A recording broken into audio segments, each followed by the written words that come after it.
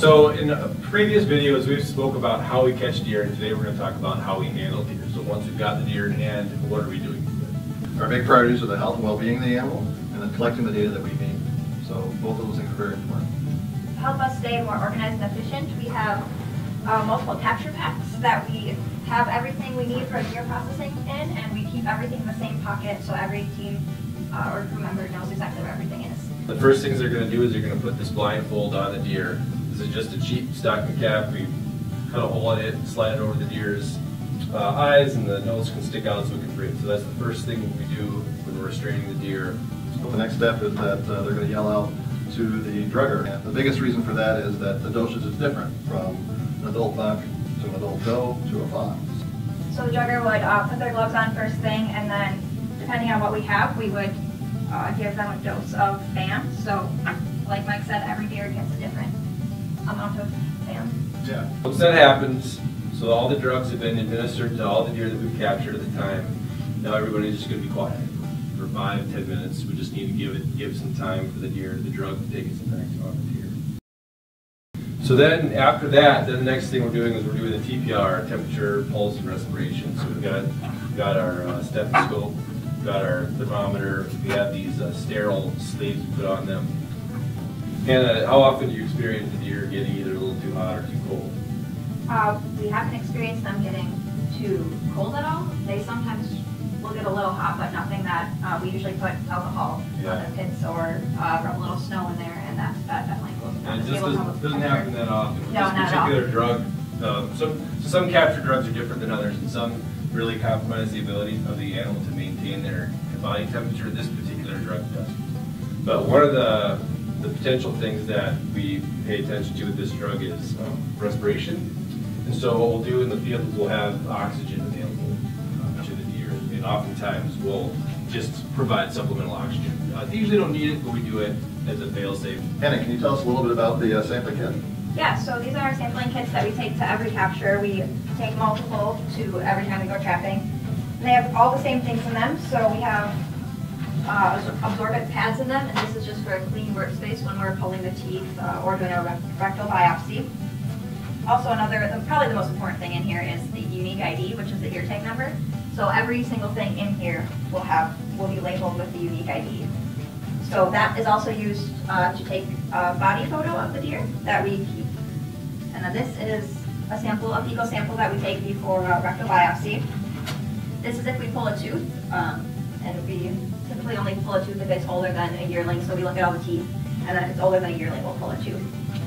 Um, This. We have two ear tags, one that we put in each ear. And here's the applicator. Yep, so each ear tag goes in there. These are basically livestock uh, ear tags. And then typically before we put an ear tag in, we like to take a genetic sample using the biopsy punch in a piece of cardboard, and then that just goes into this tube. And then we also have a rectal biopsy kit, which has uh, some formalin that we keep our sample in, a speculum that we use, and then just another cassette and another tube to keep some samples in. So, Mike, why don't you walk us through the, the, the rectal biopsy? Yes, a rectal biopsy is a, a, a surgical procedure, but it's a fairly simple surgical procedure that we do. That um, we're removing a small piece of tissue um, in the rectum, basically right at the exit, the exit area, and um, it's about the size of a nickel, maybe at the most, somewhere around the size of a nickel. And we take that out and put it in the cassette, and that actually gets sent to the WVDL, Wisconsin Veterinary Diagnostics Lab. The, only other thing um, that we'll do that involves needing the drug would be pulling a tooth. And so we actually do, at the same time we give the lidocaine cream, if it is old enough, we will um, use a shot of lidocaine, just like you would have at the dentist, and then we use what's called a tooth elevator, and just a simple set of pliers. Because, you know, we're working in the deer's mouth at that time, they're getting saliva on them, uh, these are one-time use objects, and so, so we're not gonna get saliva on this and then use it on another deer, recycle it. Yeah, everything here actually is one-time use for the most part. So the collars here, we've got two different types of collars. This is a buck collar, and this is a doe collar. These are GPS units, and so um, there's a satellite. So they, they take GPS locations and then use satellites to send the location stuff to via computer. So this is the doe collar, and this is the buck collar. The reason we have two different designs is because the, the, the buck collars have some stretch in them. They're elastic, and they also have the elastic portion is folded in three places and then has pleats sewn in them. The folds are sewn in them. And so as the deer, as the buck grows, the collar can grow with the animal a little bit, and uh, as the buck gets into rut, so their necks expand, expand quite a bit during the rut. So that pressure from the neck will just pop those pleats, expands with the, the, the growth of the buck's neck, and then because it's elastic, it can, um, when, when the buck's neck size gets a little smaller, this collar can shrink with it to some degree. And can you tell them a little bit about uh, the vaginal implant transfer? Something we're using. Yeah, so for adult does, we do uh, the, the VITs, and so this is just our VIT, and they each have a frequency written on them. We would put it into our VIT applicator, which is this, uh, after writing down the frequency, so we can keep track of this. We soak it in Nolvasan for 10 minutes to disinfect anything that may be on it, and then we put that um, into the doe, and this will allow, it gives off a signal that we can listen to, and it will let us know when, when she might have had fawns. So we'll do the, the hind foot length, we'll do a chest girth, these are uh, measures of size and body condition of an animal. And then we'll also, uh, we, we, we, um, we do a body fat condition assessment. This is looking at the spine, the rear, um, the bottom part of the spine, from behind the ribs to the tailbone.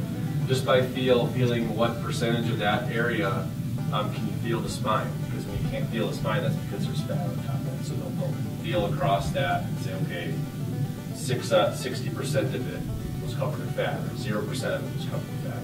It's a subjective measure, but it, it, it's pretty meaningful in terms of um, distinguishing animals that are in poor and good condition. So the other thing we do, pretty much the last thing we do just about is weigh the animal, and then two folks will lift it off the ground, and the other person will read it, so we get a body weight.